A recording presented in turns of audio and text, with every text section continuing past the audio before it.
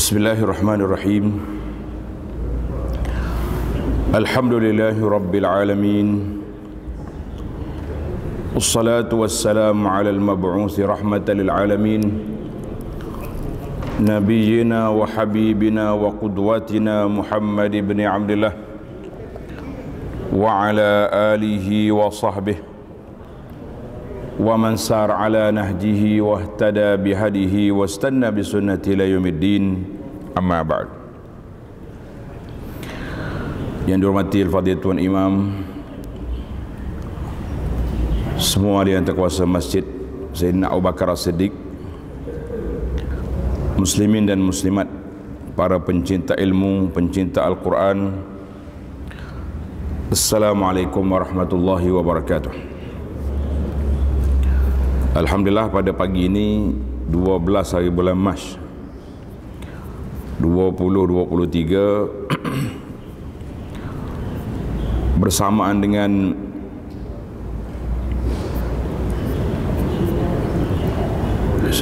Syaban kita pada hari ini 19 19 hari bulan Syaban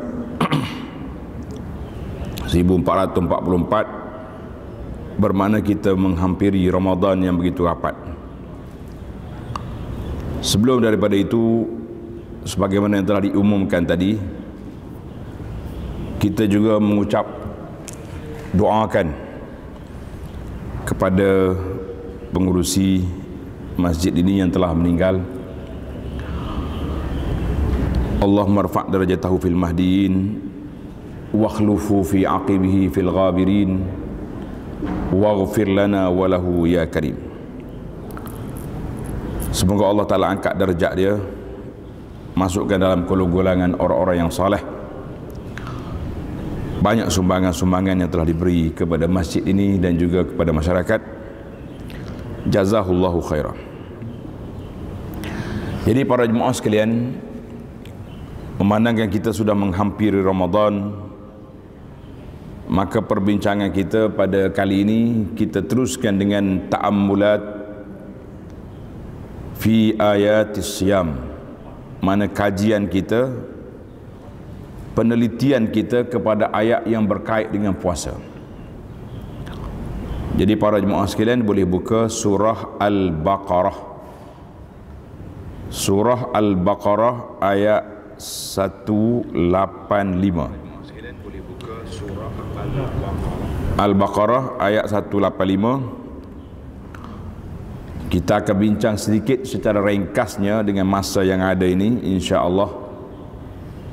Iaitulah tentang bulan Ramadan. Turunnya Al-Quran padanya membawa hidayah petunjuk. Dan juga Allah Subhanahu wa taala letakkan dalam syariat puasa ini ayat yang menyundukkan tentang rukhsah ataupun keringinan kepada hamba-hamba dia dalam melakukan puasa. Jadi para jemaah sekalian itulah tanggungjawab kita. Itulah sepatutnya apabila datang musim-musim kebajikan yang besar kita murajaah kita buat kajian, kita teliti ayat-ayat yang berkaitan mudah-mudahan kita dapat ilmu dapat manfaat dapat membuat persiapan yang rapi sebelum datangnya musim yang agung dan yang besar ini. Jadi buka yang ada Quran di tangan buka surah Al-Baqarah 185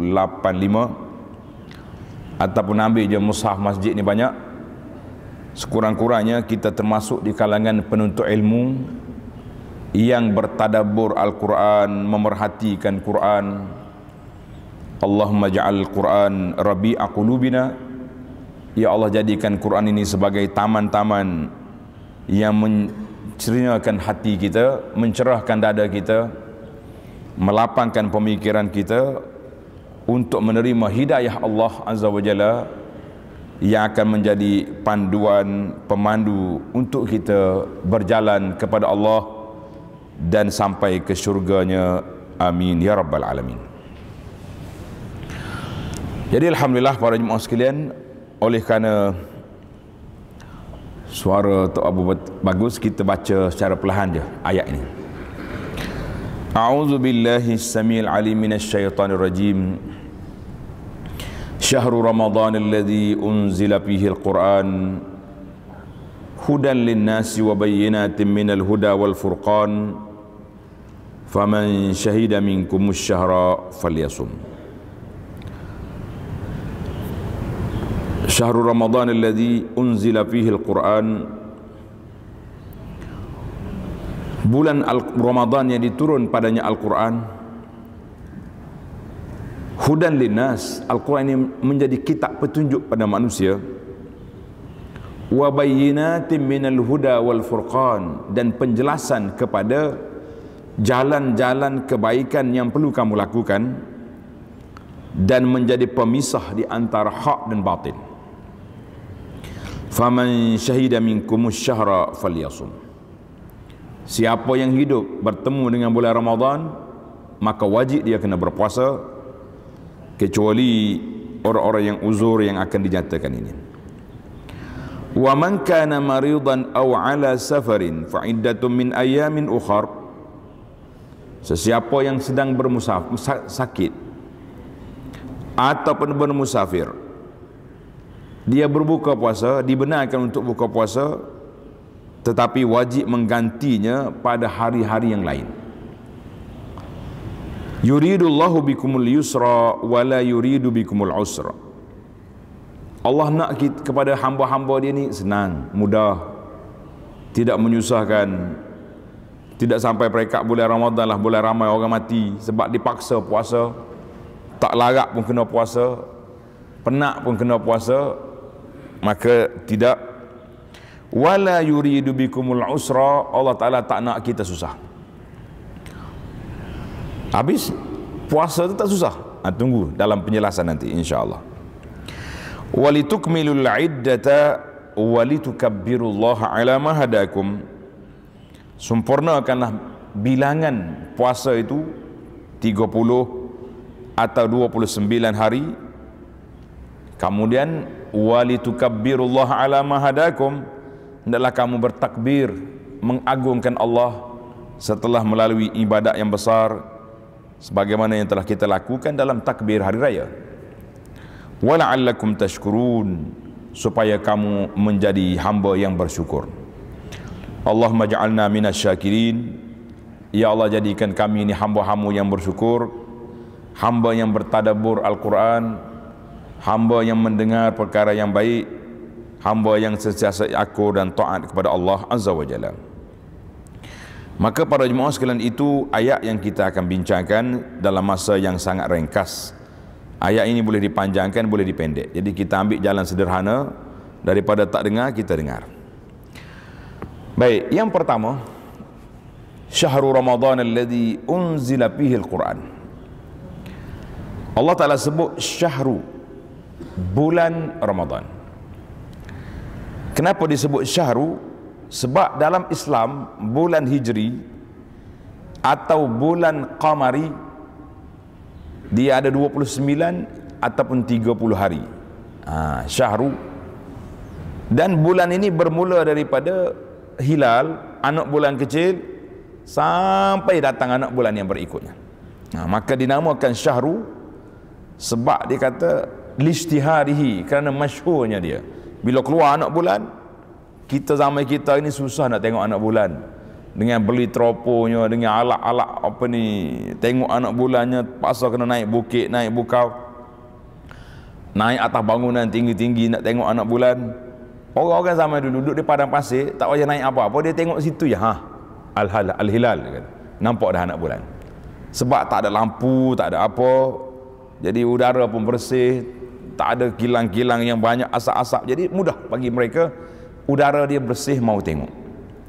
Maka itu dia kata hilal itu apabila dilihat iza ru'ya apabila ditengok bukan didengar. Itu satu. Nama dia syahru masuknya bulan baru. Maka uh, maka dengan ini kalau tak tengok anak bulan apa hukum? Tak ada siapa nampak anak bulan. 29 Syaban tak nampak anak bulan.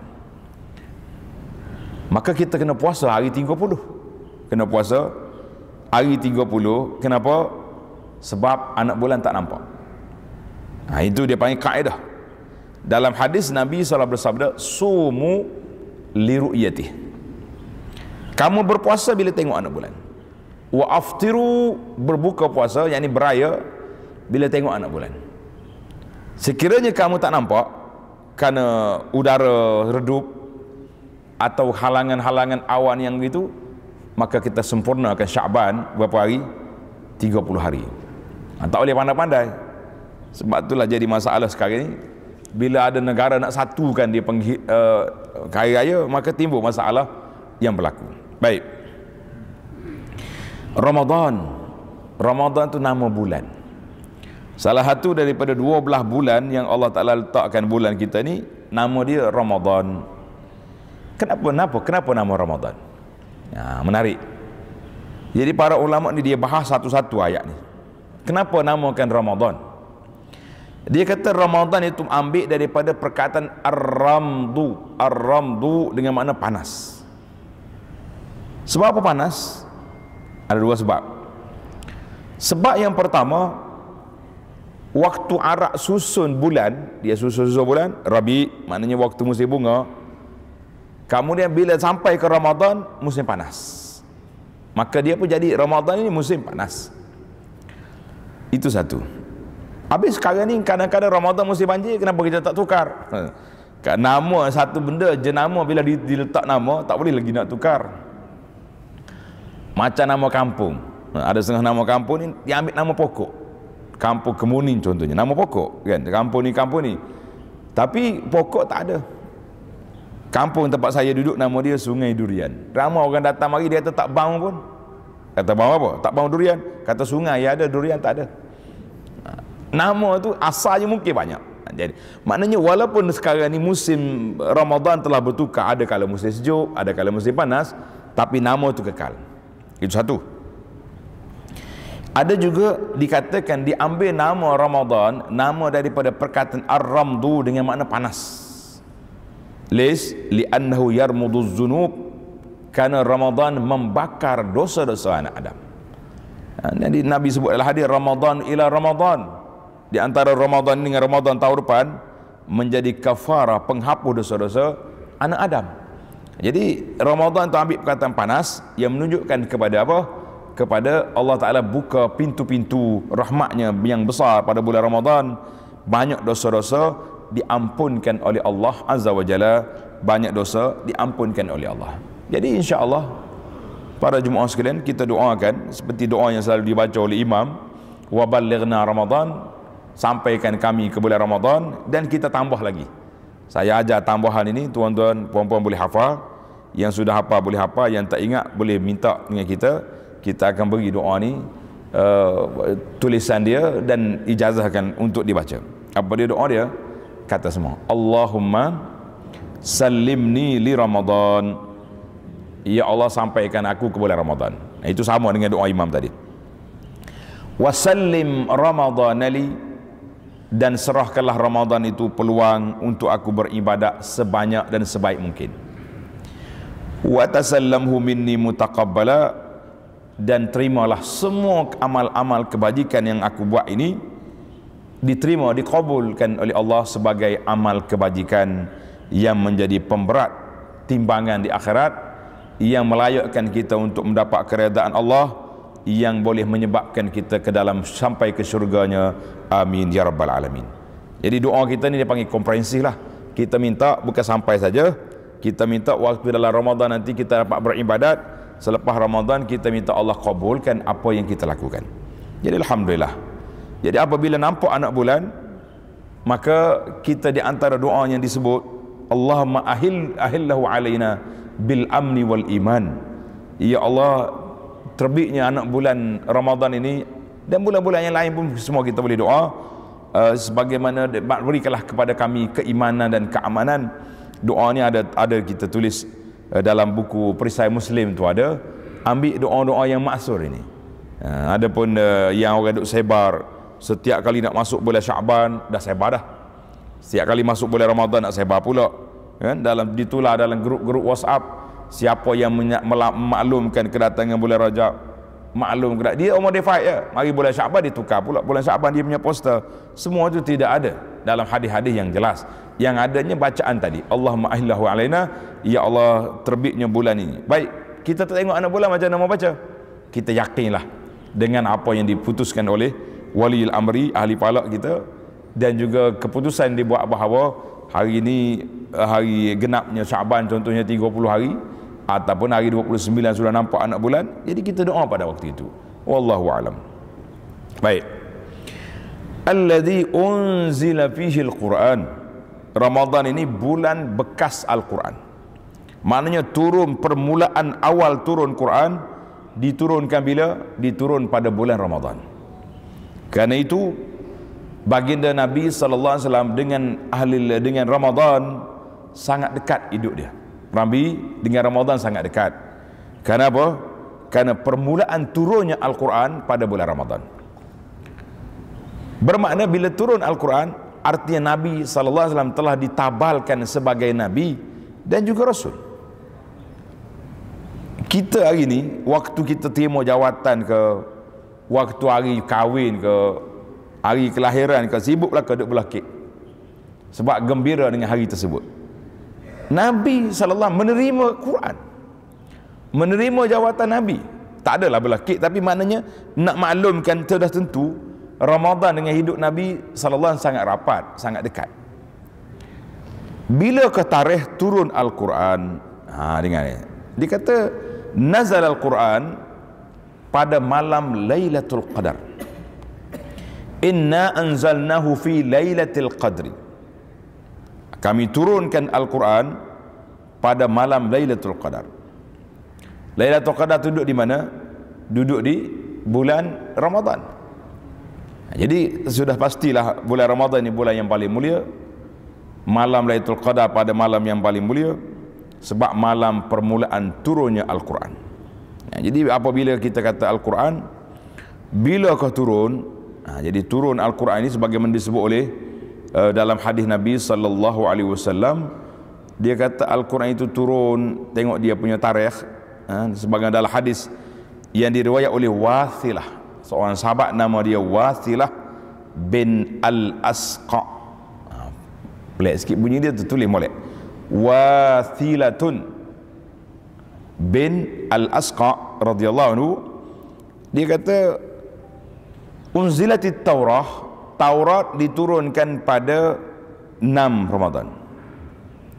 Injil 13 Zabur 18 Al-Quran 24 Ramadan ini riwayat yang paling kuat Al-Quran itu nuzul Quran 24 Ramadan yang masyhur yang kita suka 17 Ramadan sebab apa? Sebab hari cuti.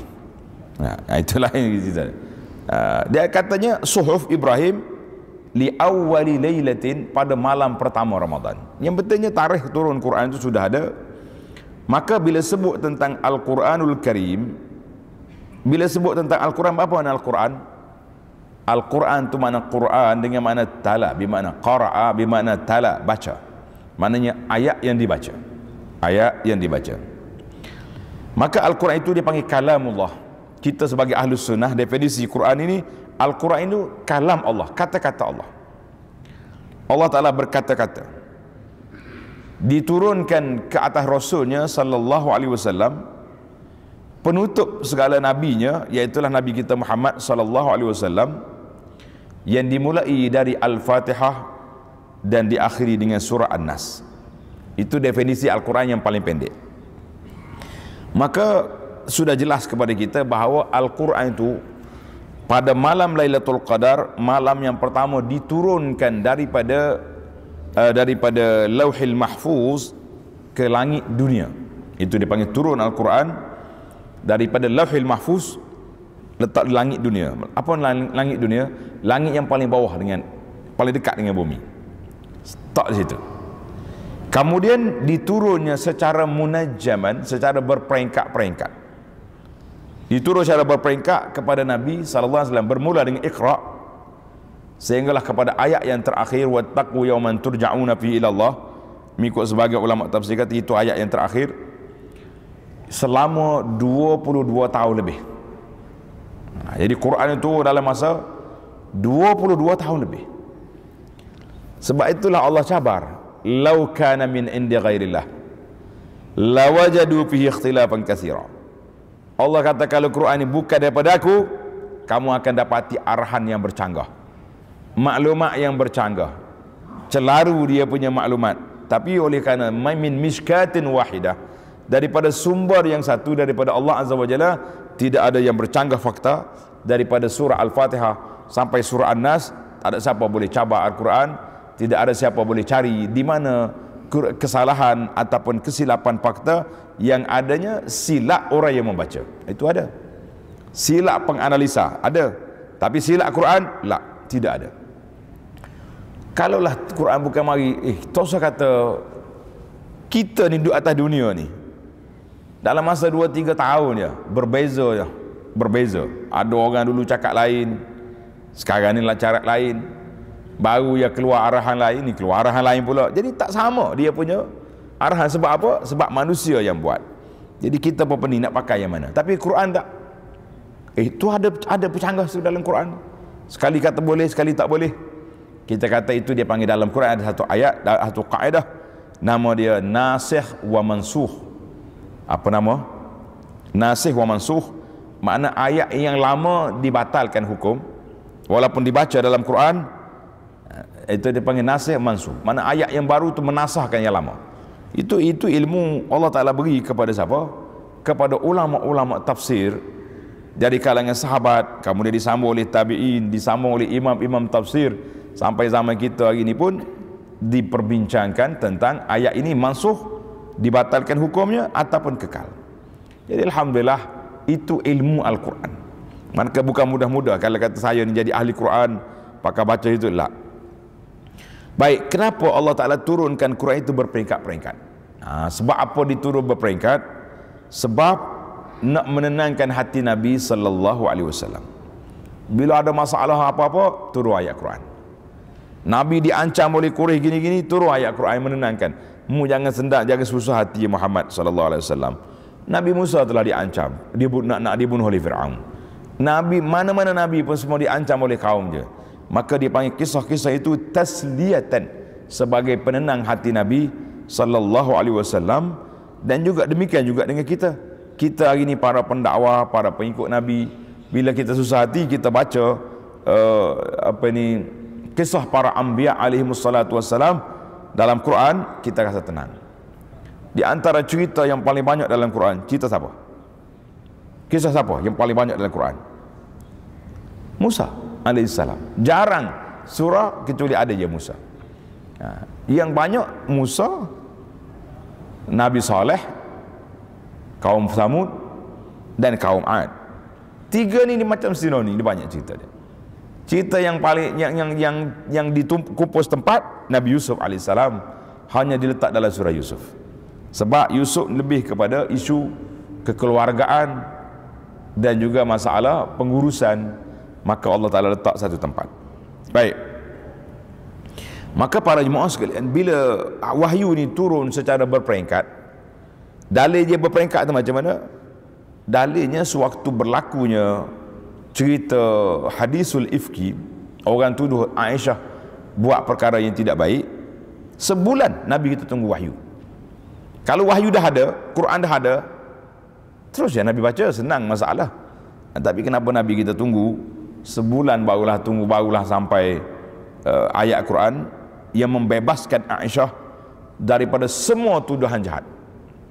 Sama juga dengan kisah tiga orang yang tak pergi perang tabuk. Tak ke perang tabuk. Nabi juga menunggu beberapa lama sehinggalah Allah Taala turun ayat Quran laqad taba. Allah Taala terima taubat. Baik. Kita dah bincang tadi tentang turunnya Al-Quran bila pada malam 24 Ramadan ada riwayat kata 17 tapi yang masyhur yang sahih riwayatnya 24 masalah cuti cerita lain kemudian Allah nyatakan hudan linnas Al-Quran itu menjadi petunjuk bagi manusia. Tengok. Wa bayyinatin minal huda wal furqan. Dan penjelasan daripada petunjuk dan pemisah. Adakah ayat huda dua kali berulang? Coba tengok. Limadha kenapa Allah Taala ulang kalimah huda? Hudan linnas wa bayyinatin minal huda. Jadi hudan linnas yang pertama wa bayyinatin minal huda. Seorang pengkaji peneliti Ibnu Ashur rahimahullah dia kata hudan yang pertama tu hudan linnas maknanya fungsi Al-Quran. Al-Quran itu menjadi petunjuk pemandu pada manusia dalam semua keadaan. Keadaan yang umum keadaan yang khusus pada kehidupan kamu ini semuanya ada dalam Quran. Ha. Wa bayyinatin minal huda dan penjelasan kepada petunjuk. Di antara petunjuk besar dalam Quran ini apa dia? Tauhid kepada Allah azza wajalla tauhid kepada Allah. Membenarkan dakwah Rasul sallallahu alaihi wasallam. Itu dia katakan wa bayyinatin minal huda. Huda yang kedua itu perincian. Kepada perkara yang wajib kita kena pegang iaitu tauhid kepada Allah azza wajalla perkara yang kita kena aku dan patuh iaitulah sunnah Nabi sallallahu alaihi wasallam daripada hujah-hujah dalam Quran. Maka kata Syekh, huda yang pertama itu menunjukkan sifat Al-Quran, sifat Al-Quran sebagai petunjuk. Huda yang kedua, perincian dalam Quran itu apa yang nak ditunjukkan iaitulah tauhid dan juga mengabdikan diri kepada Allah Azza wa Jalla fala tikrar maka tidak ada uh, pengulangan. Tidak kata ayat berulang yang tak ada makna. La. Ayat berulang tapi makna yang berbeza. Itu nama dia Al-Quran. Itu nama dia Al-Quran. Wal furqan apa makna furqan? Pemisah di antara hak dengan batil. Dalam i'tiqad kepercayaan. Kalau kita nak tahu mana kepercayaan betul baca Quran. Contohnya hari ini kontra di antara Quran dengan Injil Bible Bible kata macam ni Allah. Kita kata tak, tak boleh pakai ada yang lain. Yang betulnya siapa? Yang Allah Taala sebut dalam Quran qul huwallahu ahad. Allah Taala yang esa. Kalau ahli-ahli Bible nak pakai nama Allah nak guna juga nama Allah kita kata Allah mana awak nak pakai? Allah ada anak Allah ada bini la yang kita pakainya qul huwallahu ahad. Allahus samad lam yalid wa lam yulad wa lam yakul lahu kufuwan ahad. Itu makna pemisah antara hak dengan batil pemisah di antara halal dengan haram dalam bab hukum hakam pemisah di antara yang betul dengan yang salah di dalam pemikiran. Maka kalimah furqan tanda ni pelajar. Kalimah al-furqan terdapat enam kali dalam Quran. Bahkan ada satu surah dinamakan surah-surah al-furqan Ha, jadi Quran sendiri itu nama dia Furqan. Nama dia Al-Furqan. Maka datang ayat faman syahida minkum asy-syahra falyasum. Faman syahida minkum asy-syahra falyasum. Mana-mana di kalangan orang Islam yang hidup yang sempat masuk bulan Ramadan telah diisytiharkan sah masuk Ramadan sama ada melalui tengok anak bulan ataupun genap 30 Syaban maka wajib dia kena berpuasa. Ha, jadi para jemaah sekalian, mustahil Tuhan nak suruh kita tengok semua anak bulan. Tak mungkin. Jabatan palak pun dia tak pergi semua berapa orang yang dia pergi. Kalau kata semua orang Islam dia tengok anak bulan baru dia puasa, kita kata tidak mungkin benda ni di luar kemampuan. Di luar kemampuan, maka faman syahida dengan mana faman adraka. Siapa dia hidup sampai masuk Ramadan wajib dia kena berpuasa. Wajib dia kena berpuasa dia panggil ayat ini khitab ditujukan kepada orang yang beriman syahidah bimana syahada. Dia sudah hidup sampai bulan Ramadan. Jadi tak payah kita kita bila sampai masuk Ramadan telah diisytiharkan oleh uh, pihak pemerintah negara negara masing-masing. Ramadan besok maka wajib kita mena berpuasa. Walaupun ada hari ini usaha-usaha nak satukan dalam satu kawasan. Contohnya ASEAN ASEAN ni tempat naik matahari dia dekat-dekat ya beza sikit ya. Nah di antara ujung Indonesia dengan kita ni mungkin satu jam. Sabah Sarawak mungkin berbeza sedikit. Tapi masih lagi dalam matlak yang sama. Maka mereka mengatakan boleh je kita kalau nampak di sana puasa di sini. Tapi kalau di tempat yang jauh kita malam dia siang itu berbeza. Mungkin waktu kita malam tu anak bulan belum lagi lahir. Maka bila malam tempat dia baru baru nampak itu berbeza. Dipanggil berbezanya matlak tempat naik anak bulan. Yang ni kita serahkan kepada Mabin untuk menyelesaikan masalah. Cuma dari sudut kitanya kita berpegang dengan hadis Nabi SAW beritahu sumu li ru'yatihi wa aftiru li ru'yatihi. Mu puasa bila tengok anak bulan kamu beraya bila tengok anak bulan. Kalau tak nampak kekalkanlah dengan dengan apa? Dengan Syaban 30 hari. Baik tengok ayat ni ayat ni Allah Taala ulang sekali lagi faman syahida minkum syahra falyasum. Wa man kana maridan aw ala safarin siapa dia sakit? Marid marid itu mana sakit sungguh. Kalau kata maradan sakit saja. Apa sakit pun boleh buka puasa. Kenapa makan tu? Sakit gigi. Makan. Kenapa sakit makan tu eh hujung jari tadi tengah nak masak nak nak nak buka puasa kena kena pisau sakit lah Allah kata faman waman kana maridan siapa dia betul-betul sakit dia ayat ini diulang semula kenapa Nah ini hikmah. Cuba tuan-tuan tengok dalam Quran tu ayat 184 dah ada. Ayyaman ma'dudat faman kana minkum maridan aw ala safarin fa'iddatun.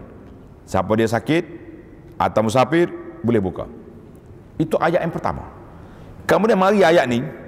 Setelah turunnya ayat Quran faman syahida minkum syahra falyasum siapa dia sempat hidup di bulan Ramadan dia kena puasa Allah ulang balik.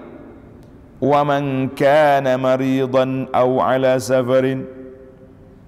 Tetap hukumnya sama. Siapa dia sakit atau dia musafir dia boleh buka puasa tapi ingat fa'iddatun min ayamin ukhra dia kena ganti pada hari lain mana lepas Ramadan nanti awak kena ganti maka ulama mengatakan bahawa ayat 184 disebut di sana supaya orang Islam tidak susah hati. Ha, beratlah kita. Wajib puasa ni tak kira siapa. lah. Tuhan kata kalau sakit, musafir bu- boleh buka. Bila turun ayat ayat yang wajib puasa tak ada pilihan. Awal Islam dulu boleh pilih. Siapa nak puasa puasa. Siapa nak bayar fidyah boleh. Tapi bila turun ayat Quran yang kedua ni tak boleh, maka diulangi sekali lagi wa man kana maridan aw ala safarin. Makna undang-undang ini tidak berubah.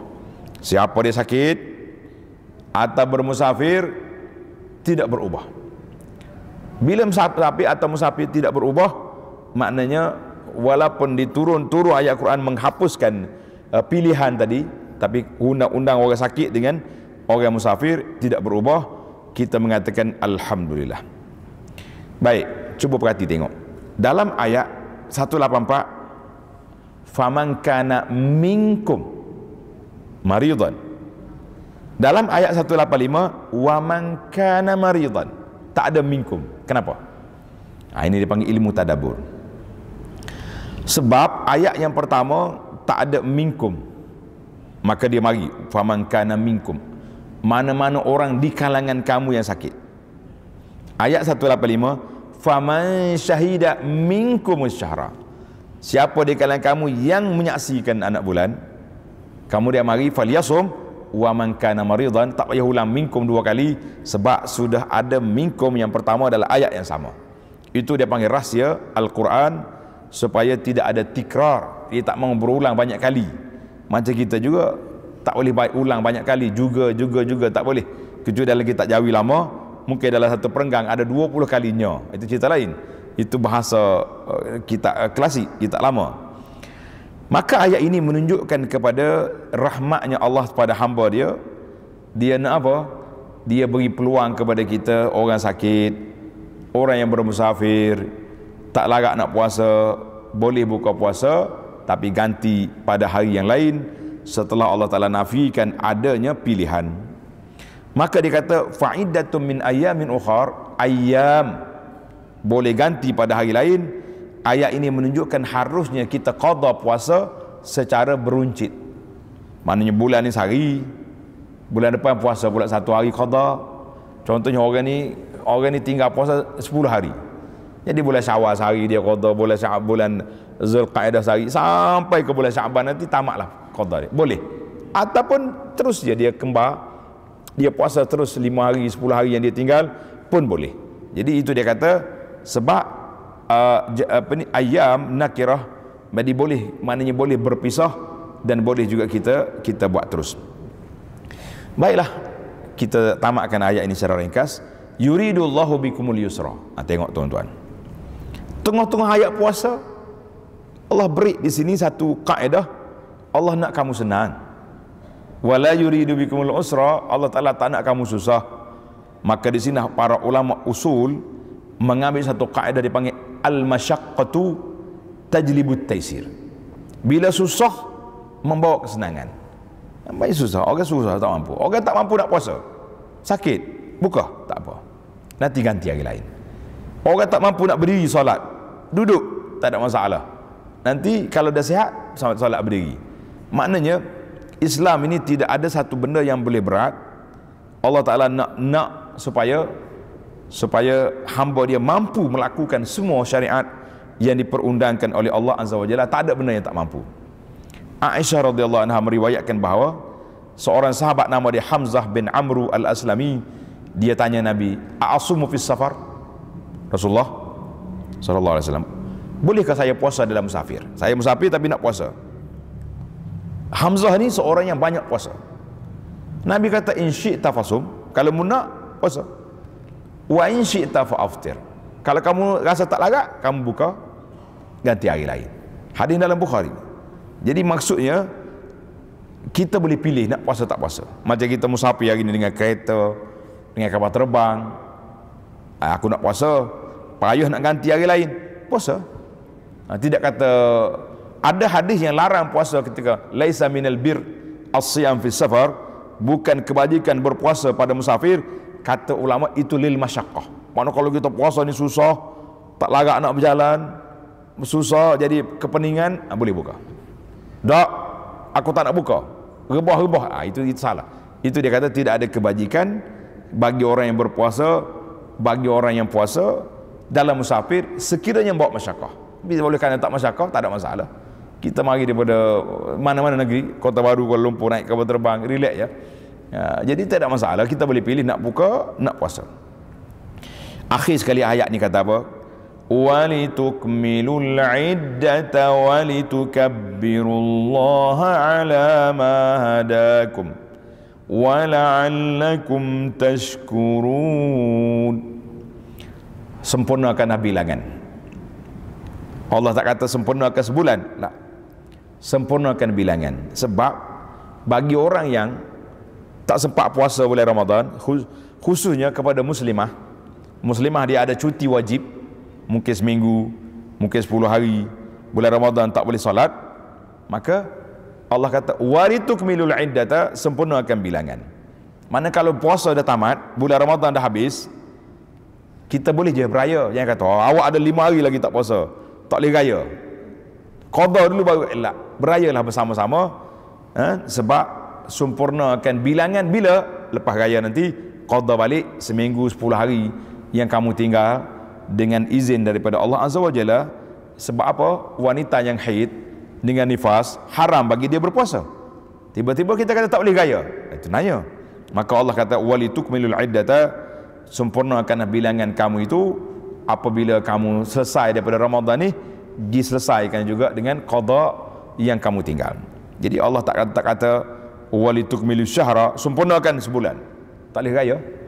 Ha, itu itu hikmah Allah Taala guna perkataan walitukmilul iddata bila sempurnanya bulan puasa bulan Ramadan telah tamat walitukabbirullaha ala ma hadakum adalah kamu bertakbir Allahu akbar Allahu akbar Allahu akbar La ilaha illallah wallahu akbar Allahu akbar walillahil ham ah, Sedih lalu bunyi nak gaya ya.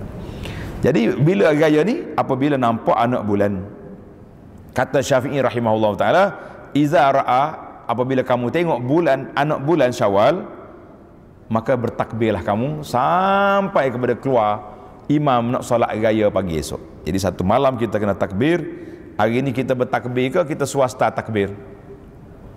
Hei. Banyakkan hari ini dia panggil rakaman takbir.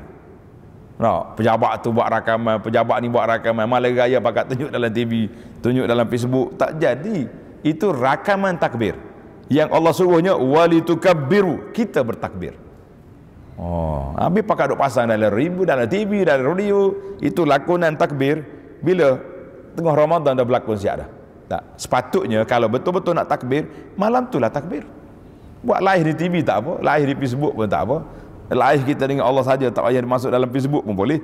Eh, maka takbir itu syiar raya umat Islam bukan dengan mercun, bukan dengan bedil, tapi dengan takbir. Hari ini takbir kita ditukar oleh mercun oleh budak-budak maka di akhir sekali Allah kata wala'allakum tashkurun hendaklah kamu bersyukur kenapa kita bersyukur?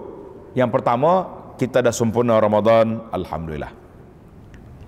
Yang kedua Allah Taala beri kepada kita kemudahan taisir. Orang sakit boleh buka orang musafir boleh buka orang yang tak larat boleh buka. Yang ketiga kita bertakbir tanda syukur kerana kita dapat menunaikan puasa yang telah kita lalui walaupun dengan penuh kelemahan tapi kita dapat melakukannya sebaik seelok yang mungkin yang kita lakukan itulah tanda bersyukur. Alhamdulillah tamatlah ayat 185 yang dapat kita tadabbur kita perhatikan untuk menyambut Ramadan al-mubarak pada tahun ini. Wa sallallahu ala nabiyyina Muhammadin wa ala alihi wa sahbihi ajma'in. Walhamdulillahi rabbil alamin. Wassalamualaikum warahmatullahi wabarakatuh.